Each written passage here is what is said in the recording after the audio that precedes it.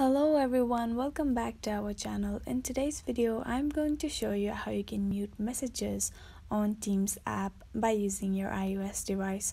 Watch the video till the end so that you'll be able to do the following activities by yourself. Before moving on to the video, make sure you like this video and subscribe to our channel. Okay, now let's move straight into the video.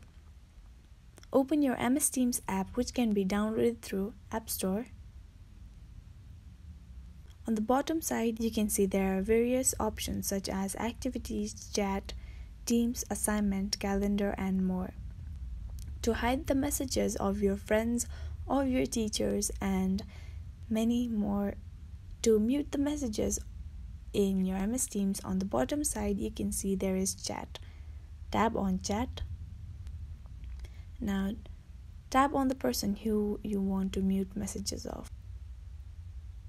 Now on the top side, you can see their names. Tap on their names.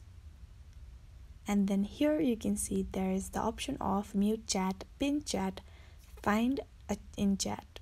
So you can simply turn on this mute chat option to mute, mute their messages. And that is all. That is how you mute the person's message. To again unmute them, tap on the same person's profile tap on their name which is on the top left corner. Then turn off this mute chat option. And that is how you mute and unmute chat of the persons or of the people you want.